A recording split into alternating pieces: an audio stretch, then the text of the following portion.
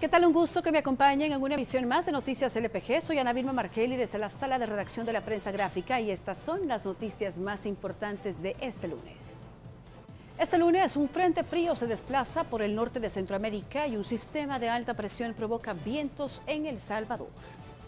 De acuerdo al Ministerio de Medio Ambiente, se tendrán temperaturas entre 12 y 15 grados centígrados en las zonas altas y entre 17 y 22 grados en las demás áreas del país durante la noche. El martes se prevé que continúen los vientos con velocidades de 20 a 40 kilómetros por hora en la mañana y entre 10 y 25 kilómetros por hora en la tarde y noche. Y más de medio millón de salvadoreños se han afiliado al partido Nuevas Ideas en un lapso de 10 días, de acuerdo al Instituto Político.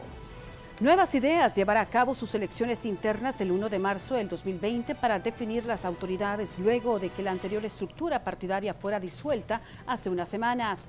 Cualquiera de los afiliados podrá postularse tanto para las elecciones internas del próximo año como para las legislativas y municipales del 2021.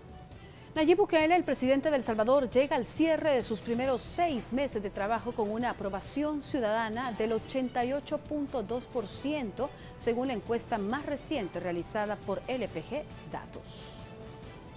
Además, los ciudadanos también calificaron el trabajo realizado por el mandatario con una nota promedio de 7.9. La imagen del presidente, al igual que hace tres meses, está apuntalada por el trabajo en seguridad. Al preguntar a los ciudadanos sobre los logros del mandatario hasta este momento, las primeras seis menciones son sobre este tema. Un operativo para capturar a 91 pandilleros fue realizado este lunes por la madrugada en el municipio de Apopa, en San Salvador.